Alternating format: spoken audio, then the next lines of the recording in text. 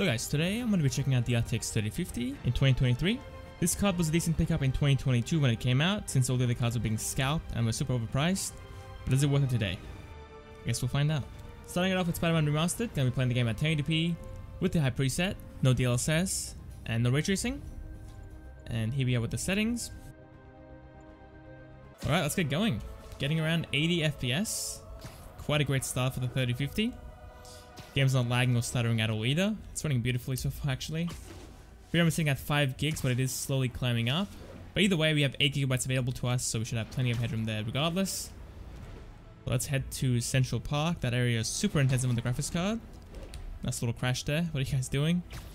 Now in Central Park we're getting around 60 to 70 FPS. So again, very nice, very smooth experience. The game's not lagging or stuttering again. It's just fantastic to be honest. The game does look a bit blurry with TAA enabled, so I would disable that personally. But if you do like the look of TAA, then I guess you can keep it on and just enjoy, enjoy your game. Alright, and here we are with RT. I'm going to be using the high preset as well, as you can see right here. let's see what we can get. Wow, 60 FPS. I'm super surprised to be honest. This card can do ray tracing, it is supported. But, I mean, you really shouldn't. In those heavier titles, you'll be struggling to get 40-50 FPS, but Spider-Man, you can do RT at the high settings and still have a great time without DLSS. You can enable DLSS if you really wish to, to get more frames, but I think 60 FPS is, is plenty for this game, so no complaints for me. Now the game does feel like it's stuttering occasionally, but it's very minor, and it's not really ruining the experience too much. FPS is dropping down into the mid 40s there for a second. I said mid 40s, I mean the mid 50s. Um, but you know what? It didn't feel too bad still. Still very playable. If I wasn't looking at the FPS counter, I couldn't probably tell anyway. So overall, at 1080p high settings, you're going to be getting around 60 to 80 FPS, depending on where you are. But with RT enabled, you're going to be sitting in the low 50s, all the way up into the low 60s. So overall, a great experience all around. Alright, let's move on to our next game. And for our second game, we're playing GTA 5 at 1080p at the very high settings. The menus are lagging because this is GTA 5 and it's very buggy still. Alright, here we are at 1080p. We're going to be using MSAA 2X and everything else is set to its max value of very high, except for the grass quality and the shadow quality. There we are, and for advanced graphics, all disabled. Running this game should be no issues at all, especially in the campaign mode. In online, it's a whole different beast, so be far more intensive, especially on the CPU, but hopefully we can get 60 FPS still at the max settings. But I guess we'll see. What is that guy doing? Oh my god. Getting very dangerous right now. Getting 120 FPS, GPU's fully maxed out, which is good to see. We're not getting CPU bottlenecked. And VRAM is sitting at 4.3 gigs, so we got plenty of headroom there as well. It's kind of crazy how the 3050 has 8 gigs of VRAM and so does the 3060 Ti and 3070. Those cards definitely need far more. And this card, I mean, it's fine with 8 gigs to be honest. I'm not going to complain about more VRAM. Alright, let's go and ping the location of the coast over here and let's drive there because that area is very grassy and that will tank your FPS. So let's go and drive there. Okay, you know what? I looked at the frame time counter. Oh, it feels a bit more laggy. Yep, sitting at 78 FPS now. I definitely felt that FPS. Who did I kill? Who did I just kill? I heard a little squeal. Oh no, I apologize whoever that was. But FPS is in the 80s now, so it is far more laggy. Feels more sluggish compared to 120 FPS obviously. So yeah, 1080p in the campaign mode at the very high settings is going to be sitting around 150 FPS and all the way down into the high 70s. Now let's go jump into online and compare the FPS over there. I'm sure we'll get CPU bottleneck though. Okay, he left the game, thankfully. Thankfully he left. it was ruining the game immediately as soon as I joined. Which car did we take out?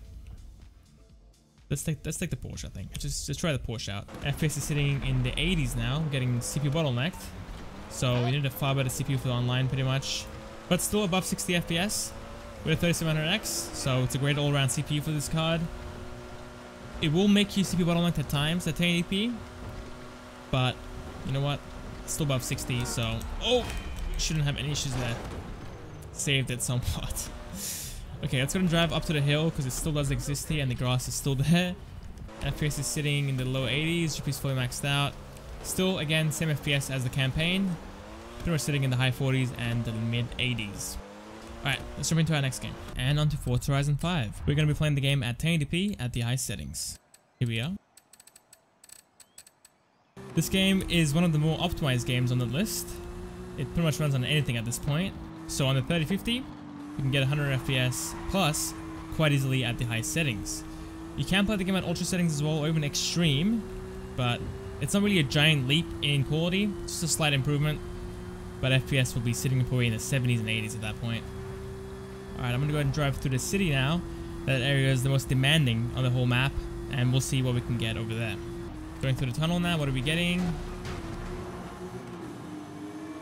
Okay, 75 was the lowest FPS, so still above 60. Game wasn't lagging or stuttering at all either. And driving through the city, normally we're getting around 95 to 105 FPS, so way above 60 there. Our fourth game is Battlefield 2042. Playing the game at 1080p at a mix of medium to high settings. Here we go. And no ray tracing, obviously. Alright, let's jump into it. Let me get out this tank. FPS is sitting in the 80s up to the 90s occasionally as well. You could go ahead and lower the settings or use DLSS to get more frame rate, but I think for me I want to get a good good mix of uh, I guess quality and performance and playing at 80 FPS is not that bad to be honest. The game is feeling quite decent still. But for a game like this I guess you could prefer to go with 120 or 140 FPS, which might be a bit hard to do with the current settings. Hello? What are you doing? Kill myself. Let's flank up. No, come on, man. Go up, go up, go, go, go. Don't kill me now, please. Stop trying to kill me. Heal up. Am I up? Put some armor on, actually. There we go. Oh, come on now. Ugh. They really want me. Okay, you're dead. You're dead too. I got lucky there, I can't even lie. I'm gonna come trying to kill you.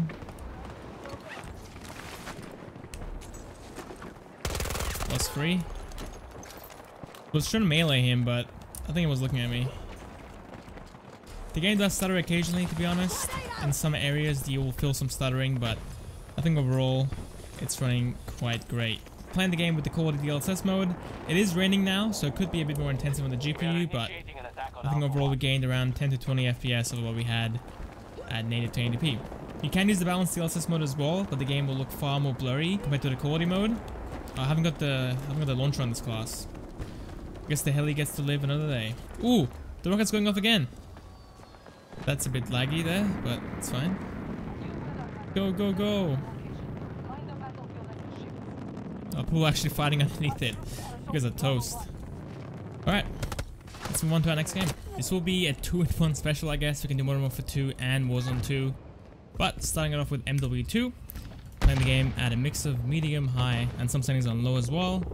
And here we are. Fight back. A lot of settings here. And then FOV is at 103. Messi! Messi's gone. FPS is sitting in the mid 90s up to the high 90s and occasionally in the 100s. Oh my god. Look, they keep chasing me. Kill that guy as well.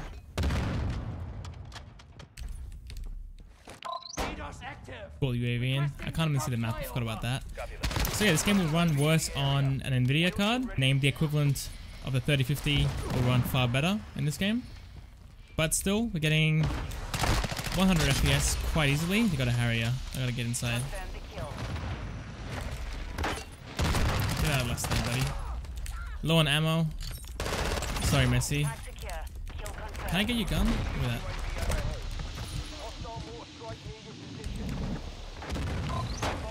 Fancy baby, let's go call this in. This will be for our teammates, because I can't use it. But yeah, so far the game's running beautifully. No lagging or stuttering that I can feel. And FPS is honestly pretty great as well. You could lower the settings or use uh, DLSS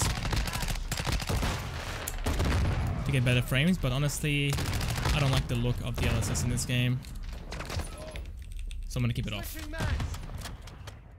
Let's go. I'm gonna go and start mowing them down.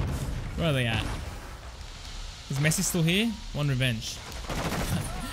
nice. You're dead. Buddy, why are you hiding back there, huh? I see you, you know that, right? I see you.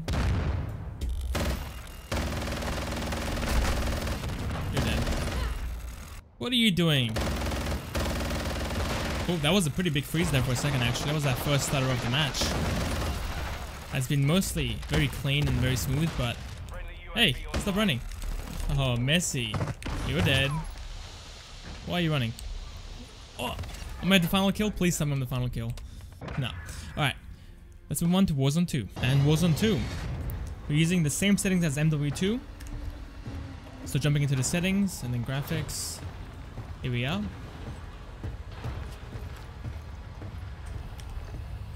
Now I'm going to be doing two portions for this test. I'm going to be landing down here, a lot of water here, and landing in the city area and looking over the map. Indoors we're getting around 80 FPS, but we can drop down into the 70s as well. This water looks pretty bad to be honest, looks pretty much non-existent. Game is stuttering a little bit, but FPS is doing just fine. I'm gonna get back up here.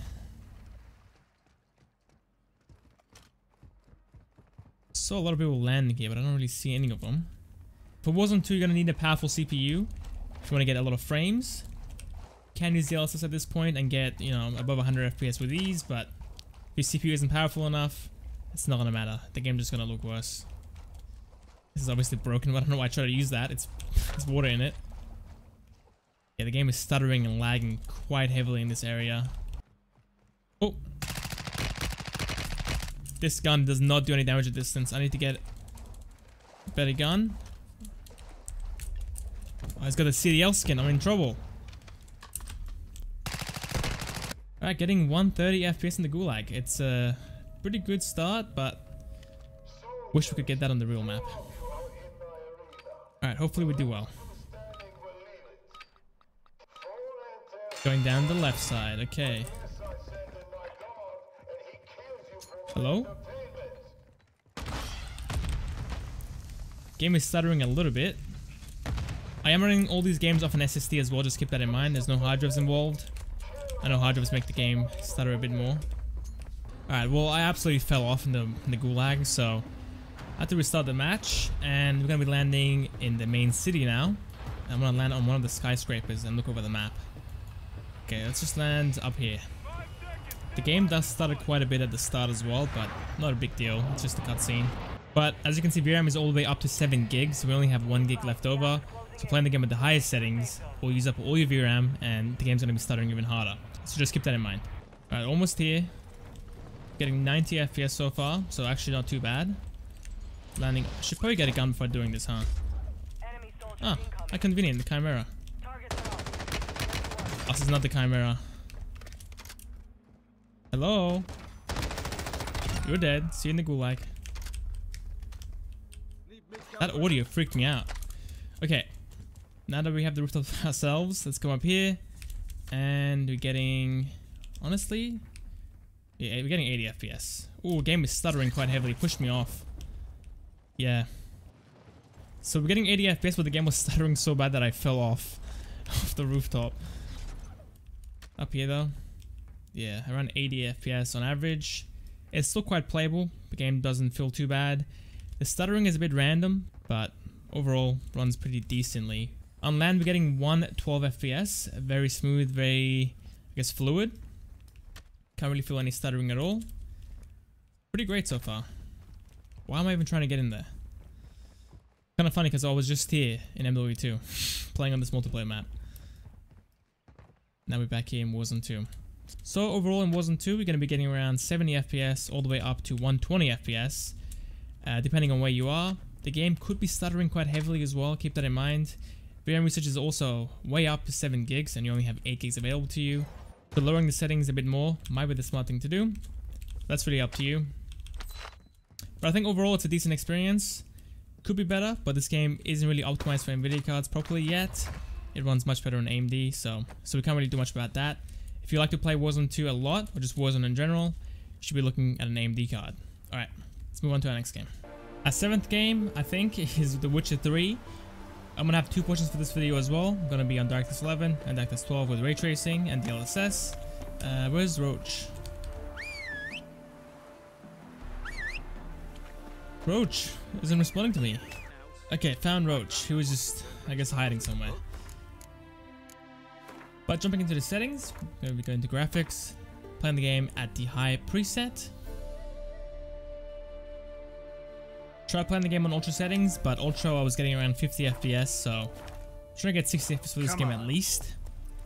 And we don't have the DLSS available to us in DirectX 11, so uh, we kind of forced into slowing the quality of the game and getting 60 FPS that way. But we're getting some stuttering at the start. This is normal. This will go away normally after a couple of minutes. But as you can see, FPS is sitting in the 60s and all the way up into the 70s. VRAM is sitting at 2.4 gigs, so we've got plenty of headroom there. And GPU is fully maxed out, sitting at 100%. So this game in DirectX 11 mode is very easy to run. I think this is also from 2015 as well. It's on the PS4. So it's not that hard to run at the high settings at this point. But at Ultra and Ultra Plus, it's going to cause your FPS to drop down into the 40s and 50s. Uh, which is I guess fine, it is still playable that way. But the mouse movement isn't going to be as responsive as 60 FPS or 70 FPS. So it's really up to you. If you want to get a better looking game, then play at Ultra Plus settings and get like 30 to 40 FPS. Or you can play the game at high settings and get 60 plus FPS. Okay, I'm gonna go and quit out, enable ray tracing, and come back when that's done. Oh my god, What is from his The game is only rendering in the top left hand side of the screen, and we're getting 28 FPS. This is with DirectX 12, ray tracing enabled as well, and at medium settings with DLSS set to balanced. That's why I was recommending using DirectX 11 until this gets sorted out. It's still not like perfectly optimized, but as you can see, FPS is sitting at 30 at medium settings with DLSS enabled. So this card can do ray tracing, but the performance isn't going to be amazing at times. And here are the settings. I can show it off to you guys. But yeah, I'm to move on to the next game. Cyberpunk 2077 is to be our seventh or eighth game. And we're playing the game at 1080p at the high settings. QB and graphics, using DLSS set to quality, and these are the rest of the settings. This game is very demanding, so I would highly recommend using DLSS. And at the quality preset, it looks fantastic anyway, so you might as well use it. It's free FPS. As you can see, FPS is getting pretty close into the 60s, so without DLSS, we're going to be sitting in the 50s and 40s probably at this point. So we're getting saved by DLSS, pretty much. But the game is running beautifully. There's no stuttering, there's no lagging. This game is pretty buggy still. It is what it is. It hasn't been fully fixed yet, but for the most part, it does run pretty great. And most of the issues have been fixed as well. Alright, we're in a different level now, and we're gonna start up a fight, and we're gonna see how we run it here. So getting up close, all the sparks coming off the sky will cause the FPS to drop down into the 50s, the mid 50s right there. So as you can see, it's not a perfect 60, but to be honest, it's not that bad either. I couldn't really feel the stuttering or lagging. So overall, it is pretty good. We had that one dip into the 50s, but it's not that big of a deal. Felt fine still. Game wasn't stuttering or anything like that. But on average, we're sitting in the low 70s and even the mid 60s at times. Alright, I'm to go enable ray tracing going to see how this runs with RT enabled. I've gone ahead and enabled RT using the medium preset and we're playing the game at nighttime so we can see the reflections better. But as you can see, we're getting 40 FPS. The game looks fantastic with all the lighting. I love it. But honestly, at this point, I think a 30 FPS cap is the way to go, so we can have some headroom in case of a heavy situation, so we don't fall below 30 and feel all the stutters and you know all those like lag spikes. Dropping down to the 30s here, the mid 30s, not too bad. Still, the game is running just fine. Can't really feel any stuttering. The mouse movement, or I guess the keyboard inputs, feel fine as well. Aiming would be pretty difficult with keyboard and mouse at 30 FPS, but it's it can be done. You know, it can still be done. But a controller might be ideal at this point. All right, let's move on to the next game. Now it's time for some Need for Speed. We're going to be playing the game at the high preset, pretty much. Some settings are set to ultra as well. At 1080p, no DLSS. These are the settings. Let's get going. This game can be very CPU bound, especially in the city areas, so if you've got a weaker CPU than this, your FPS might be lower than what you're seeing here. But once you leave the city area, if you are being CPU bottlenecked, your FPS should go all the way up again to like 80 FPS pretty much. This BMW, by the way, I got for 100% in the game, but I haven't upgraded it yet. It's all visual customization, so it's a Ricer car pretty much. It's a B class, but it's been done up, so the outside looks cool. I just haven't had the time to go and actually upgrade the engine and all that, but I'll do it at some point. But as you can see, FPS is going to be sitting in the mid 70s. There's no stuttering, there's no lagging. Game's running beautifully.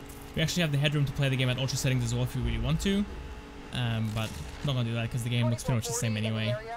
Now with all these games that have DLSS available to them, you can play the game at 440p and 4K even and get a decent experience. You know, 40, 50 FPS, even 60 FPS at times. Just lower the quality a little bit to medium and you should have a good time at those resolutions as well. Alright, I think that's enough of NFS. Let's move on to the next game. Alright, here we are on CSGO. Playing the game at 1080p. And a mix of low to medium settings and some settings are set to high to make the skins look better. For this game though, it doesn't really matter. It's an esports title. Same with Valorant and like League of Legends. You'll be pretty much CPU bound for the most part. As you can see, we're getting... Actually, no. We're not getting CPU bound at times. GPU sitting at 75% usage on average, but it can go up to 95% at times. This really depends what you're looking at and where you are. But regardless, we are able to get above 300 FPS even with the CPU, which is not the fastest CPU anymore, but you know what? For this card and for this game, it does a fine job. Okay, that game ended, so on to a new game. As you can see, we're getting around 400 FPS in this lobby. Sitting around 95%, so it's pretty much maxed out. But there are times where you will be getting CPU bottlenecked, and GPU will be sitting around 70% usage pretty much.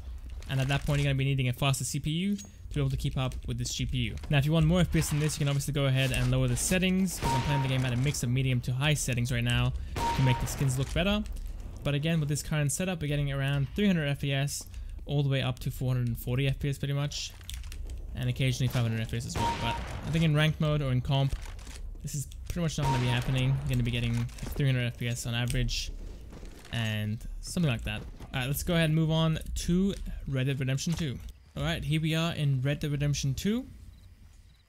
Playing the game at a mix of high to ultra slash medium settings at 1080p. And we've got DLSS at the quality as well. Here we are 1080p, and these are the rest of the settings.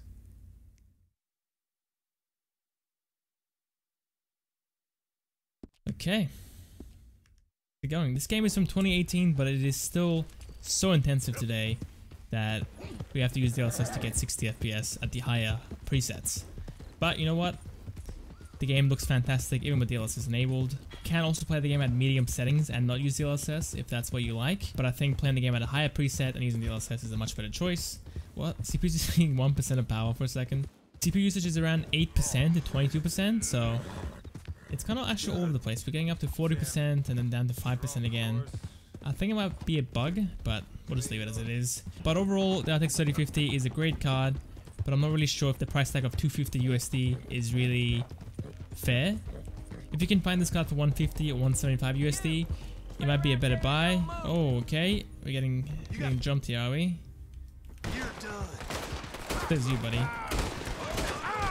Now, if you are running a GTX 1060 or a GTX 1660 or 1650, I would avoid this card. You do get DLSS and ray tracing, which does help the card a bit, but in terms of raw power, you're getting a slight bump. It's much better for you to go ahead and get like an AMD card, like an RX 6600 XT or 6600, or an RTX 2060 even, or like an RTX 2060 Super, than to get this card.